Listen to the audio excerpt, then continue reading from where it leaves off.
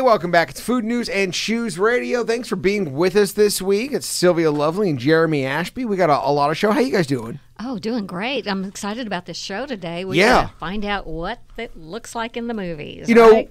We, we talk a lot about food and cooking and eating and all Mm-hmm. about that, but one of the biggest things people do with food is taking pictures of it. I'm sure in the beginning of, of this, the Instagram culture, it must have driven chefs crazy, right? I don't. I mean, whenever people started taking food pictures on social media, I think it kind of created a whole new Yeah. category. Yeah. You know, there was porn, and then there was food porn. Like literally, people just gravitated towards food pictures.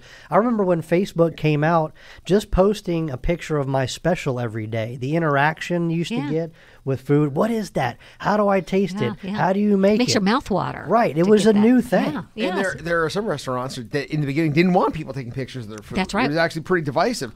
But Bill Brady is on. He, you are a food photographer. You are. now, He's on with uh, on Zoom, so he could be anywhere in the world taking pictures of food. But you're on, and you are a food, a professional food photographer, right, Bill? That is correct. And what? Tell us about that. Tell us Yeah, about that that sounds like an amazing profession. job. Yeah, what a great job. And you're out of New York City, Well, right? Yeah, so I have a studio in Brooklyn, New York, in Industry City. Um, out of I've actually worked out of the Barrows Intense Ginger Liqueur Tasting Room. Um, that sounds interesting. And I've been doing uh, food photography since 2000. Um, I actually mentored with a food photographer named Bill Helms, and when he retired, I was offered his account, which was the Food Emporiums in Manhattan, which was owned by the Wow. A&P brand. Wow. So I, re- I respect there. There's got to be an art and a detail to Uh-huh. what you do, especially as a chef. You know, I create something and it's visually in front of me. It's my canvas. I paint it, but it seems like it it loses luster. It loses lust even after I don't know 30 seconds, a minute. Mm-hmm. I don't know if it if it's just the the, the vegetables kind of breaking their texture and colors and starting to wilt from the heat or whatever. How do you guys Make it keep what. I do looking looking nice for a cookbook or a photo shoot or a spread. So it's a pretty simple answer. Um, you got to keep all of the garnish, like uh, mint or um, uh, you know cilantro or whatever. You have to change that out if if it dies on you. If you want to make your proteins look fresh and delicious, you you hit them with a paintbrush of oil. And if you want to make your veg look great, you spray them with a spray bottle of water. And it makes them- um, oh yeah. Oh yeah. The the key to food photography is that it should remain wet. If it looks dry, Uh-huh. then it looks dry. Yeah, like his cheeseburger that we posted. Well, Oh, I can't get a good picture of it. I'm, I'm, I'm gonna need Bill because you know they do look good, Sylvia. But to me, like I get to see them come right off the grill, that's right. you know, and they're on the plate, and I'm like, man, this has got to be the best, juiciest burger in town, and I think it is for a moment. How did you make Um, that burger look so juicy? I mean, it was dripping juice. What made you want to just eat the picture? Well, that and honestly, that's how I define a food photograph: is if you want to if you want to eat it after you look at it. Um, so I actually work with food stylists, and that is a whole job unto itself. Where, in conjunction with what I do, which is photography, lighting, composition, you know, props, and all that, um, I also hire a, something called a food stylist, which is a chef that rather than making 400 dishes in a night makes eight to 10 dishes in a day, but they make those look the best humanly possible. Now, you, So while I'm, okay, Oh, I was saying you, you brought up a word, you know, composition. Uh, uh, you're a photographer, and this is what you do, and you you do it very well. The average person who does this has no idea. They they they get a plate of food, it comes in front of them, they go, "Oh, boom, I'm gonna take a picture," and we don't really think about the lighting. We don't think about Right. the composition. We don't think Yeah. about the shadows, the depth, the Yeah. And that's has to- what yeah. the difference That between a professional and Yeah. amateur is. Like there's so many Yeah. Yeah. factors Yeah. that you Yeah. have to think about. But what could you do to help people? Like me. Take yeah, yeah. What what, what Like- advice would yeah, you give to help Chef people just take better using their iPhone, take better pictures? because I, I I make them and my photos are terrible. The burgers look dry. They're not l- lustery and you know all that. Yeah, yeah. What are some tips for okay, so there's a couple of really uh, simple things that you can do to make a food picture stand out. Number one is light. So if you're trying to shoot your pictures in the kitchen with no light, you know, the expression is garbage in, garbage out. Um, what makes a photo, what makes a photograph photographic is the lighting. So, believe it or not, food likes to be lit from behind. Oh, Oh, and that's a then, yeah. So the easiest way to get your elevate your food photographs, the, the first tip I'm going to give you is find a place either in the dining room that's near a window with natural light, or you can purchase a very inexpensive light with a softbox.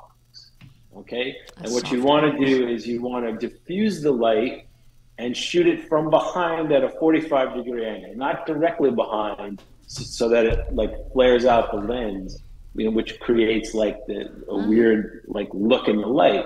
But if you shoot it from slightly above with the light, you know, at a 45 degree mm-hmm. angle. But here's the secret: you have to bounce light back into the picture. So what you need to do is get two white pieces of foam board and put them in front of the subject, but so you can't see them on camera.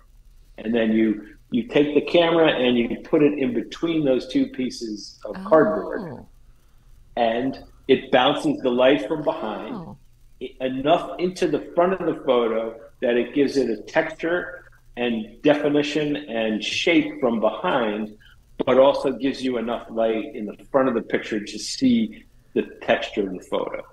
And Wow. that's the simplest way to light it. You can also do something called side lighting, which is take the light and put it completely, you know, to the side of the subject. And then instead of taking your bounce cards in the front, you put your bounce card on the other side and Oh, then yeah. you move it. Oh, So that's that's Oh, tip one. I tip can't wait. two is you're using the wrong lens in your camera. So the default lens in your camera is a wide angle lens, which is great for shooting landscapes, which is really what the camera was designed for.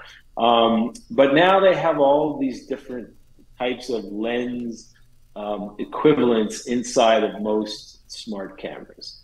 So what you need to do is either put the camera on portrait mode, which will blur out the background, Yeah. but you can't get, you can only get a certain, you know, distance away with that because it'll say move further back. Um, the other thing you can do is incorporate the macro feature in your camera and put it like super close and get like just a texture.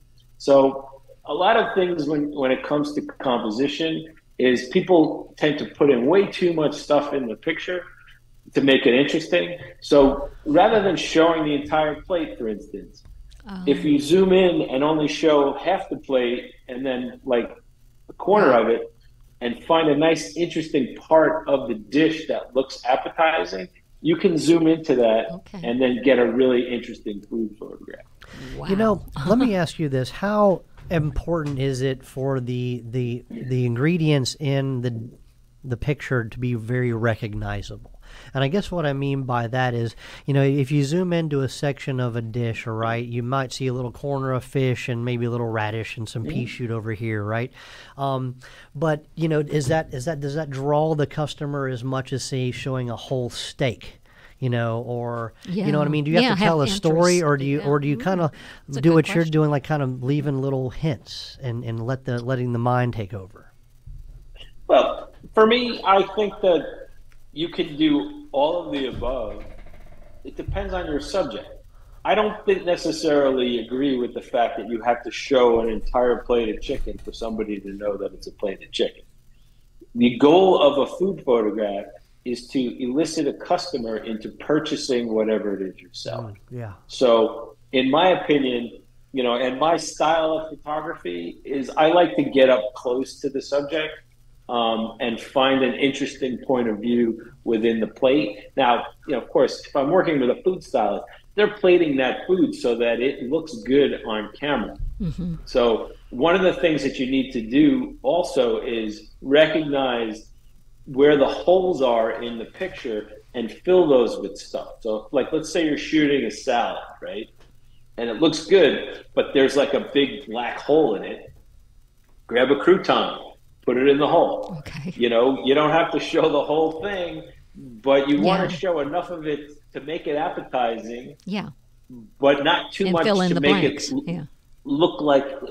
If you pull too far back, then there's no detail, and the beauty of food photography Yeah. is in the detail. Oh, because yeah. you go, oh my god, I want to eat that. Like you mentioned that burger shot. So that was actually a wider shot. I have the whole burger, but then I decided that it was much more interesting if I cropped into that one section. Well, pretty So- interesting to me. Yeah. It was good, so good looking. What about plates? What about uh, you know different plates? I've always you know they used to say food looks best on a white plate. I always heard that when I started cooking, and then you go, well, I've seen really cool pieces of uh, wood or Yeah, yeah. natural. You know, Yeah. the people Interest. play on rocks or what, what, Bowls. what about that sort of uh, that aspect of it?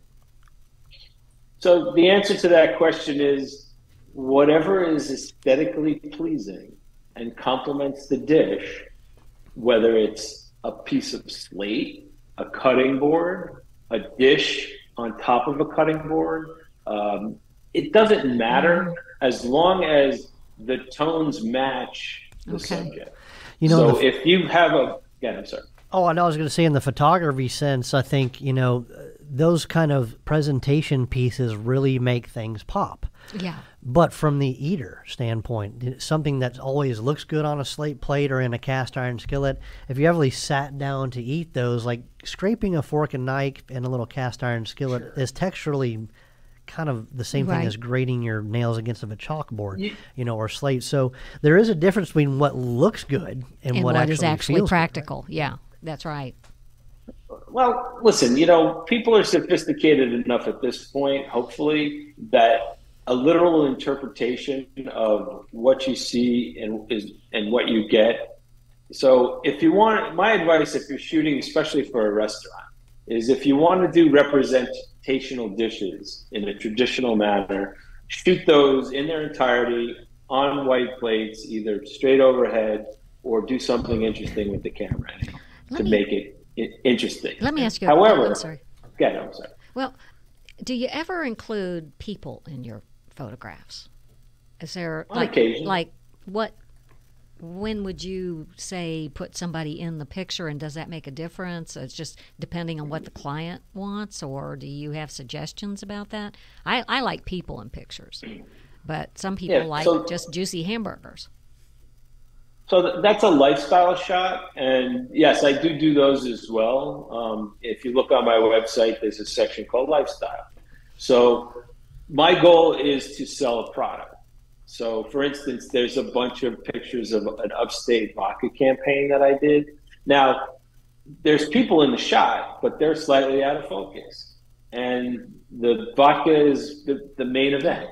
So while it's okay to put people in photographs, it all depends on the client, what the look and feel is. So when I work, I get a something called a creative brief, and I I literally just got off of a, a, a pre-production meeting about a menu items that I'm shooting for Golden Crust, which is a Jamaican patty company, and we went over all of the looks, the feels, the mm-hmm. objectives. So gotta know their story. I work with teams, Yeah. and usually they come up with the creative. And it, as a commercial photographer, it's my job to execute their vision. So if they want pictures with people in the background, then we, Then we give them those. yeah. If they want straight up food porn, then that's what they get. Sometimes they get a combination of the two. It all depends on what they want and what their end goal is. Yeah, and then you put the creative piece to it of this is how it would look really good and, and all of that stuff. Yeah. If that's not their expertise, what they want in their story is what you interpret then as the art and the skill. Right. Yeah. My job is to execute a client's creative vision to the best of my technical and creative ability. So there's And a, you know, Oh, I keep interrupting. I'm sorry, but there's a lot to this. I want to. I have a question about these stylists, these food stylists. It, it seemed how many dishes do they go through on a typical shoot? Because I, I've seen a couple of these things go down. You get a plate in there with the, the, the, the way you like to do it. The lighting can be. Those are like heat lamps, right? Yeah. So you, it's a limited amount of time that food's going to look good, and so they have to like plate these several times and keep getting tons of shots. How many times do you think that has to be done in one shoot? So I, I generally don't um, have multiple dishes of the same item um, because we shoot digitally now. The lights they're not hot actually. They're we either use strobes which have modeling lights which aren't hot, or I use these days I'm using continuous light because I also shoot video at the same time. So the lights are they give out a minimal amount of heat. Um, it's just time. So I like to explain to people that food photography is a still life with an expiration date. So you have to move fast. But when I first started shooting, when we were shooting on film, we would work on two shots in a day. Today we can do 10, 15 shots, you know, set, you know, depending on the complexity of the dish, and still maintain a high level of output um, and and you know productivity because the the, the, the medium is faster now. Sure. So if if things start to die on set, we can bring them back to life by adding more oil, Water. paintbrush Yeah. Yeah. or water. Uh, Uh-huh. get water beads, and sometimes you mix um, in a little bottle a glycerin and water mixture will create those beads like on a glass. Um, and there's a whole art to food styling, and I actually know ninety percent of the tricks, and I can style food pretty well. But to get the most return on your investment with a food photographer, if they're working with a stylist, the stylist is styling while the photographer's shooting. And when something's on set, I can't be cooking food to, to, to make. Yeah, You know, you know, I was put on hop- set. I was hoping what you'd say is that um, that they did the food did wear out, and then I could get a job as the eater when the food is. Oh no, no, can't photograph it anymore. Pass it don't over to Sylvia. She's being paid Never to eat eat anything food. on set. Don't ever eat it if it hits. Because there's some other tricks of the trade out there too, right? Uh, I remember like one time when I first got out of culinary school, it was one of our first magazines. I don't know what I'm doing. I was like using hairspray and stuff Yeah, to make I've things glisten. I mean, it's not edible, of course, but Well, ice cream is generally Crisco. Is that Yeah, right? I always heard that. Oh my Yeah, certain things are, yeah, certain things look like you know. They were saying, uh, for instance, syrup looks awful in real life. So motor oil is usually Oh what's what, because it just it, it Uh, stands. I on- just quit my job. so yeah, because I've and and, you know I, I know that's more in the food stylist realm, but so uh, syrup absorbs into a pancake really fast, but motor oil will sit on top of it and give you that look that you want, that unctuousness that you just can't get. Now there are certain rules when you're you're certain ways you're not mm-hmm. allowed to and I don't know what all the rules are, but I know for certain things you cannot use inedible objects in food photography is that right? Oh, fascinating. when you're going to use it for certain packaging, I believe. I, I, I mean, it's probably more of a, of a law thing, but I don't know if that if that's something you've run across. Yeah. Bill? Yeah, is that so true? the rule of thumb the rule of thumb is first of all, if it's on set, don't eat it unless you're shooting in a restaurant. yeah, I just quit my job. Yeah. So I, I just have a very brief anecdote. We were shooting for OTG, which is the the, the airport service company, and the guy, one of the guys, grabbed the muffin off the set and started eating it, and he bit into a giant, um, you know, toothpick spike. you know, Oh my kebab spike. gosh. And the chef freaked out. He's like, "Oh my god!" He starts making phone calls, and we're like, "Dude, like we did that. We put that in there so that the muffin would Yeah. sit at a specific angle. Oh, don't eat oh anything my that it gosh. comes off of the set. You know, we don't know. You don't know if we put a chemical on that." Or there's pin. You most likely there's pins in the food, especially for um, sandwiches. Like when we do work for Boar's Head, you roll the meat and then you stick a pin in it so that it doesn't unroll. So don't eat anything on. on Okay, set. good rule of That's thumb. that's number. That's so funny. The chef's always making phone calls. but in, in, in terms of the motor oil, like yes, they do use motor oil. But to answer the, your question, it if you're shooting a product like Haagen Dazs ice cream, you have to use Haagen Dazs ice cream. oh, If you're Oh, shooting yeah, okay. cereal, and like if you're shooting package design stuff, um, we were shooting stuff for Walmart, and we had to. You can take ten packages of frozen food, and what you have to do is you have to weigh out the ingredients that come out. So let's say there's three ounces of peas, you know, ten shrimp, blah blah blah. If you take those pa- packages apart and weigh out the, the, the ingredients, sift through them, and add them back in. Like let's say package number five has better shrimp than package number two, but package number two has better peas. As long as you're combining the same amount of ounces or oh, number of counts, so Oh. Of you're not overselling something. Oh, that's the, the key is you you don't want to misinterpret what the product. Yeah, your customers might want to count those peas. Yeah, it's got it's got They no, they do. They do. It's Oh, weird. man. On, on one last note, because we, we got to wrap up with Bill Brady, Bill Brady Yeah. Photography. Uh, thank you so much for being on here. It- Informative. yeah, really informative. and I also, loved it. There's there's a reason why the hamburger you get at the drive-through never looks as good as the hamburger that's in the picture at the drive-through when you order it. But yours tastes better than But yours tastes better. Absolutely, there's no no pins in it. Uh, Bill, thank you so much for being you, on Bill. with us today. We'll have you back. This is fascinating. No problem. Appreciate I'm it. happy to come on. All Okay, right, thank back in a you. moment with with Kali from the Foodies Remo- Reviewing Movies podcast. Next, it's Food News and Chews Radio.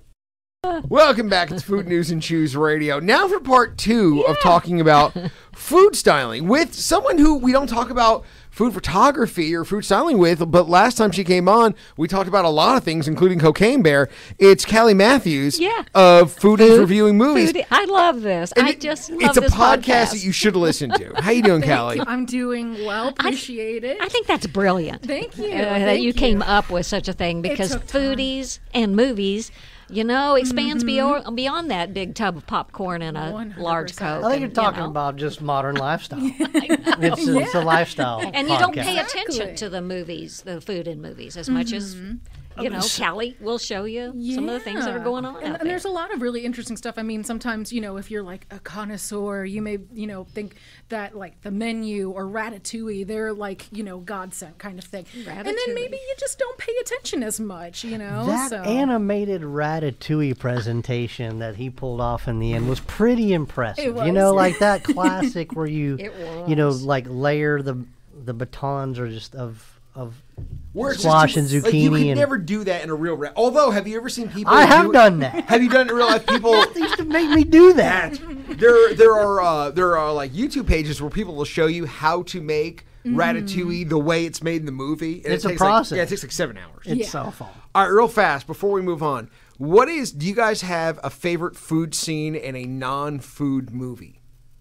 So I know you In a we- non-food- in oh, a okay, non-food yeah, movie. yeah, a So- non-food movie. Because you know there's a 'cause lot there's of great food movies, there's a lot yeah. of great food movies yeah, out yeah. there, mm-hmm. but Well- not every movie can be a food movie. But a lot of great non-food movies okay, have great well, food how about scenes. how about The Godfather? Yeah. oh yeah, I mean, all those scenes those you know you know somebody's mm. about to be whacked but they're sitting there mm-hmm. and you know they're in some italian little bistro somewhere mm-hmm. and you know they're going to get whacked but you're letting you- you're off on the food you know Same thing, Goodfellas, where they're slicing Yeah. the garlic and they're doing Oh, it in prison. They're using Yeah, the razor yeah, blade. Whole, like, because it, it's like it's going from the mafia story, then it's like, oh, here's a little subsec. You know, and Right. when you're making the sauce, slice the garlic thin so it, you know, dissolves completely in the which sauce. is good advice. very good. Yeah. very good. they could use the knife but they usually use a gun right Well, they're using a razor blade because they're in prison. right? Yeah, yeah. They could get canned tomatoes and razors. Do you do you have a, a favorite non-movie food scene? Okay. Yeah, so I actually was going to bring these up anyways when talking today, so perfect timing. right. Uh, the movie Hook, when they're having the bangarang and they're fighting with the food. Yeah, what is that stuff? Who, So- uh, uh, who I want it. Yeah, Whatever that right? creamy, fluffy drink is, they get to have. Yes, and it leaves that nice little mustache on your face. It's almost like butterbeer from Harry Potter. Yeah, It has the much, same which feel. Harry Potter was the other one, the Great oh. Hall scenes. Yeah. Yeah, so those are sort of like like that one in particular is one I did want to sort of touch on today because you're sitting there going, "Man, that looks tantalizing. I want to eat this food." That was the best part of the magic Yeah. for me. It's like you were sitting at a table, and it was like being at the highest class Golden Corral you've ever been to. So it was just a buffet of anything you want. that's hard to imagine but i'm So- going Yeah. there I was okay? thinking about this, Sylvia, because we talk we've talked about the Godfather before on the big food Yeah. spreads, right? And I'm thinking back now, and back then, you know, it was like, wow, I wonder what all that good stuff is. Yeah. Mm-hmm. You know, it doesn't really look. Uh, things have changed over time. Yeah. That would not be a spread that a modern day food photographer would probably shoot. Mm-hmm. You know, you can't really picture what anything really. You know what I'm saying? Like the Yeah. the the visible things in the Harry Potter scene, the big banquet tables. All I guess is like food photography has changed, or, or what oh, we everything's more vivid now imagine. Yeah. vivid. That's the yeah, word. more Everything's more vividly vivid. It used to be like you know Italian food, especially like in the seventies. Red. It's all covered in sauce. It's Yeah. just covered in sauce. Yeah, is that a meatball? Right, I don't right, know. right. Who Yeah. but maybe that was more realistic Who knows? Yeah, you know? I mean, there is a lot of sauce. You know, my mom grew up in New York where there was a bunch of Italians, you know, in the neighborhood, and it was just all sauce. So let's know, start yeah. with your mother's sauce recipe. recipe. Yeah, yeah, yeah. Tell us she do about the podcast, though. Tell us what you do with your because you go like to places with groups, right? Are that is that how it's set Mm-hmm. up? So um, you can find us at FRM Podcast on Instagram and Facebook. Last time I forgot to do that, so I'm throwing that out right now. And uh, pretty much we go through and we will eat at a restaurant, and then we will review a movie. We do not do those like together in the same place. Not yet. Not yet, right? I, I mean, it probably will change at some point. The dream is to actually go to like one of those places where like they shot The Godfather and like Yeah. do the Oh, review yeah. of The Godfather in you know the oh, restaurant. Oh, that yeah. would be so awesome. But yeah, so pretty much I I love supporting local businesses. That is a main goal that I have, and then I just love talking about food and movies. So let's go. Let's How do you get on your invitation list?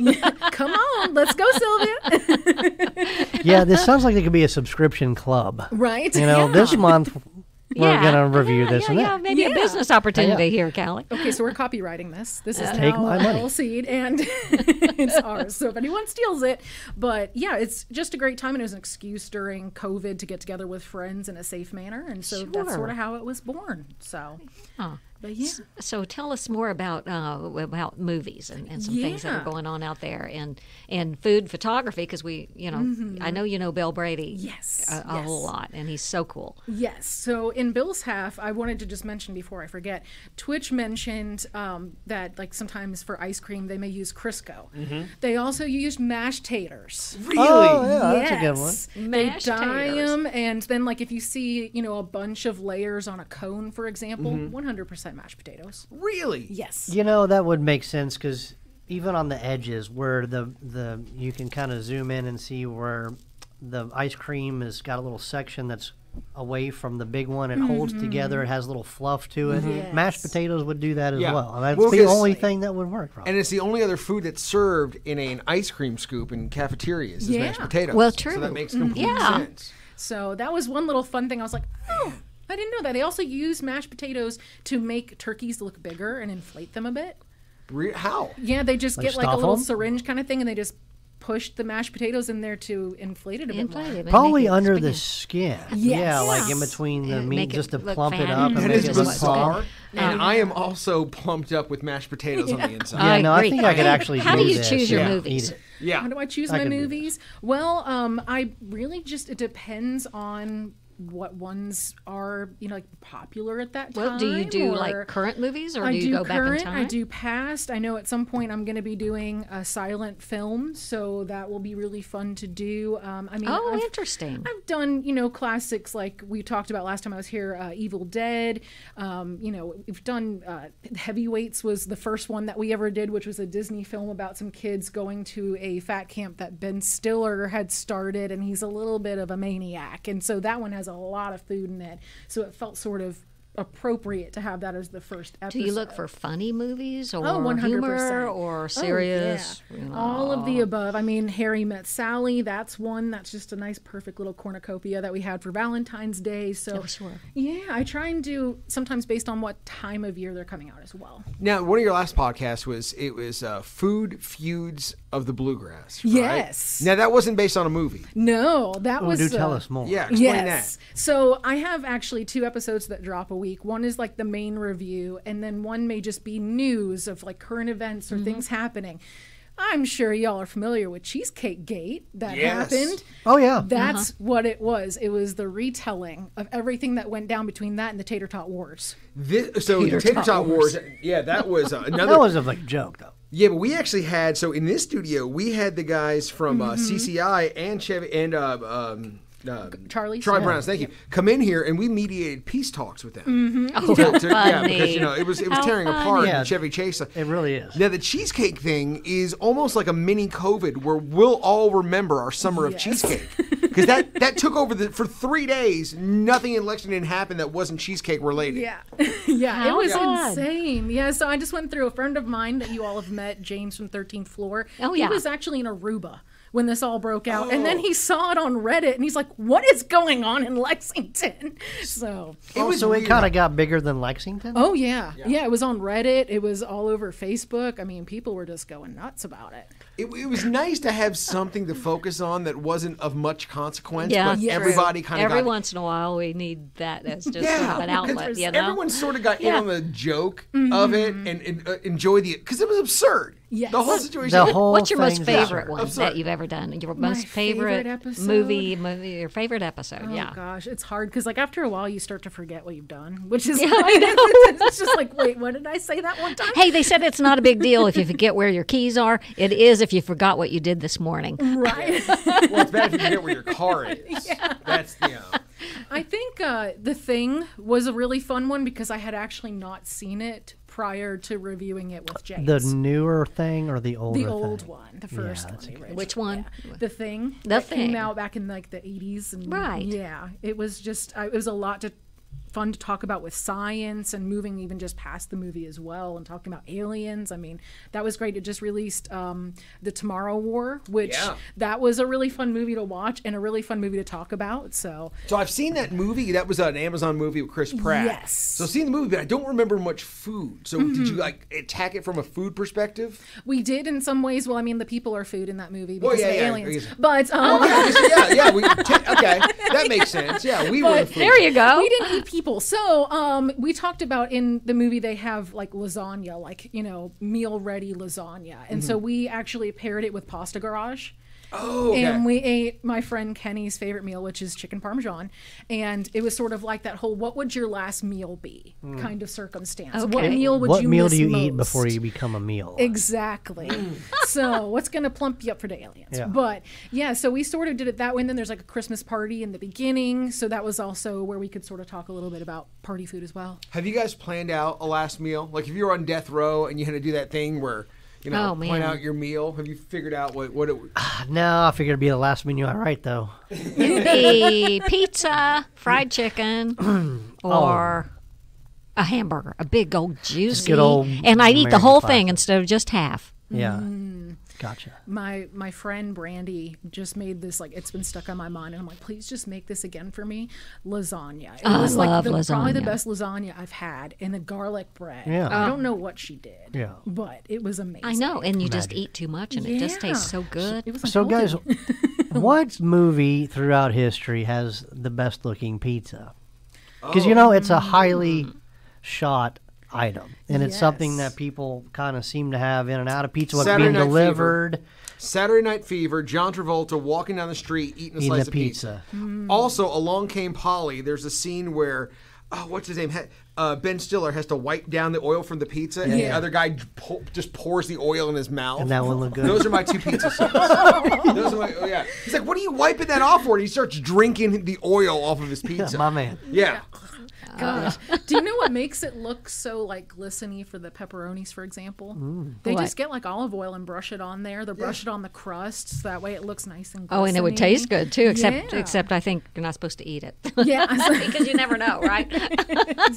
What's going to be in there? You know you've seen a lot of pizza. Yeah. Mm-hmm. Yeah. You're trying to think of it. I am you? because you're like, well, first off, is it a pan pizza? Is it a New York right style because I think Is you it- know, pan pizza or Sicilian style, Detroit style, what do you want to call it? Right. Kind of looks more, I don't know, appealing sometimes. It does. But then, it photographs but then a big old floppy New York style is irresistible as well. yeah. Yeah. No, you're 100 percent right. I feel like I gravitate toward the New York more. I did too. You know, just big old slice just flopping in the wind. You know, But there's something about uh, okay. So the, the the Chicago style gives you that cinematic cheese pull when you sl- Which cut the is- slice yes, and you pull that it out of cheese the pan. There's something Yeah, you the get that cheese cheese pull strings. from it, which makes it Right. visually more Oh, appealing. yeah. That's Kelly, true. have you ever taken up a movie that is centered upon food?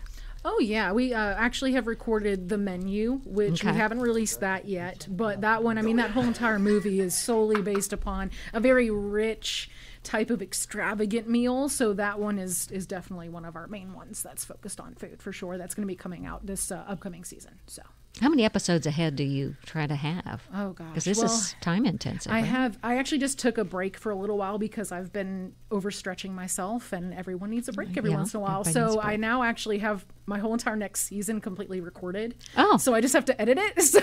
So so the timing worked nice. And it Is there a comes out time where once. you yeah. make a, a, a an episode based on a food that you don't like? Um, yeah, I mean, so okay, we're gonna be doing uh, Dumb and Dumber. A couple of friends and I. Oh, I love that movie. I, my dream is to do hot ones. I would love to do it, but my body will hate me. And so I, I like spicy food, but I don't at the same time. Oh. I'm going to be eating spicy like da bomb sauce hot. And I'm not excited, but That's a great the same scene in that movie. That is a great scene in that movie. Do y'all? I'm a, I'm a devotee of Dumb and Dumber. Mm-hmm. The It's first one one. of my, it's one of my favorite. I would love that. that. It's one of my favorite movies. I Love would never it. you. I love that movie. Really? got, my kids can recite that movie. I mean, and then the middle part in that diner where you know he's eating the hot, and they're Yeah, they like put the- the they're peppers giving him rat Yeah. poison. Pills are good. Pills are No. good. That's one of my favorite things too. I love it. But yeah, I mean, I'm willing to try stuff. You know, if there's bugs that are being eaten in a movie, okay.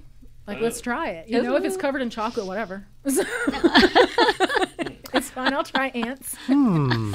so, Yeah, so there, there's plenty of bug eating movies. We got we got to put Oh, on yeah. the spot on that. Indiana Jones, right? Uh, there was a Nick Cage kiss of the, I think it was Kiss of the Van. It was the Nick Cage vampire movie where he insisted okay. methodly that the new one? the old one, but it was one of his first movies, and he wanted to eat the roaches in real life oh because he was like, "I'm a method actor, so I'm going to do this." yeah. Oh no! Come on, Nick. Oh, but you find out real fast if you are allergic to to shellfish, you can also not eat cockroaches. So come tell me No, about that. Is it like the- seriously. the well, the next time I'll watch Is that. the shell like the same kind of? Yeah, like- yeah, yeah. Exoskeleton. Yeah, it's the exoskeleton, Yeah, if you're allergic yeah, to one, you, yeah. you'll get be allergic to the other. Well, I've been cutting back on exoskeletons lately, so I think I'll be Yeah. okay. Yeah, and don't eat cockroaches.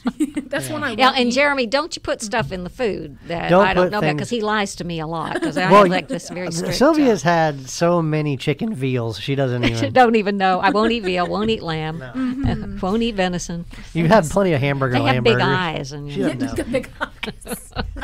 They got big eyes. although cows do does. too, you know, and I eat hamburgers. I love that. hamburgers. Well, I have, I have a fun game. Okay. Because it's like we've just been talking with Bill about these awesome sort of tricks that they're using.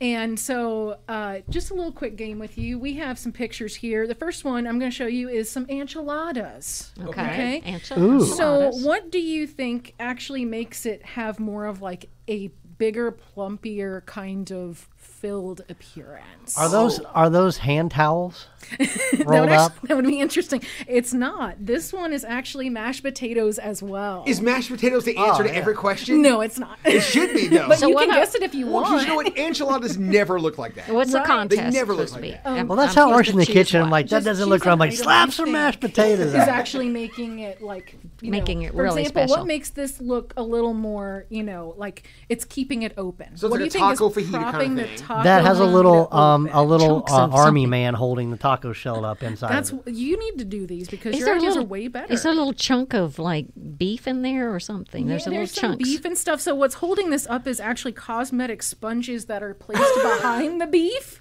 and then I was going to say mashed potatoes. yeah, man, I know you're going to. Yeah, I you was can going to guess say. I'm going to keep saying mashed potatoes. It's going to be right. Yeah, and so what they'll do too that with two for one? these tacos is they'll actually spray them with like WD forty.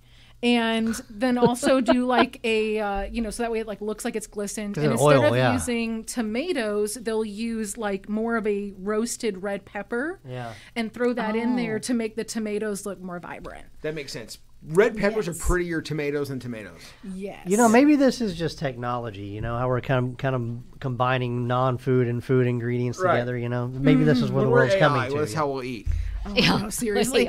Now we talked a little bit about the cereal, and I think you might get this one right, Twitch. Okay. So cereal, what makes it not get all smushy I know during a this photo one. shoot? Okay. All right. What is it? What, Are you what ready? you guys I Yeah. think I'm right. I think Okay, it's. Elmer's glue, right? Definitely glue is used. Also, Lotion? hair the cream milk and is suntan glue? lotion Oh, can wow. be used. So- I Yeah. prefer suntan lotion. Yeah. So- That's what it's sitting coconut. in, as opposed to milk. That way, it keeps it buoyant and it Yeah. keeps it from getting all Soggy. nasty and soggy. Because who And, wants soggy? and the cereal sits on top of it as opposed to sinking. yeah. Right, exactly. And they sort of just very nice strategically place the berries in there with the, you know, this one we're looking at has almond slices in it Mm-hmm. and all that. And then our last one I thought would be really fun. A cup of coffee you may see, for example, in a uh, you know a coffee commercial. Like partially mixed. yeah, where like they a have know, partially mixed. Not So it's got to be something that dispersed. kind They're of holds pouring that milk in, and, and you're seeing it sort of, you know, go through and mix Yeah. together, sort of do this nice little dance. So uh, that is actually watered down soy sauce and gelatin. and so that way it makes it sort of more loose and moving because if you put milk in with it, it's just going to separate. Yeah, And you have to keep doing it over and over again. So. Yeah, I mean, and who wants soy sauce and milk? Right? So you know no one's going to drink that. That sounds awful. That sounds awful. yeah. Oh, Check out the Foodies Reviewing Movies podcast, FM, FRM. Yes, FRM podcast on uh, any kind of social media Okay. you can get. Go check them out on Instagram and all that. And obviously, uh, click through our Facebook page and you'll see them there. Kali, thank you so much. Yeah, Thank you for thank having you. me. Appreciate It was it. fun. Always Back in a bit. It's Food News and Chews Radio. Side on a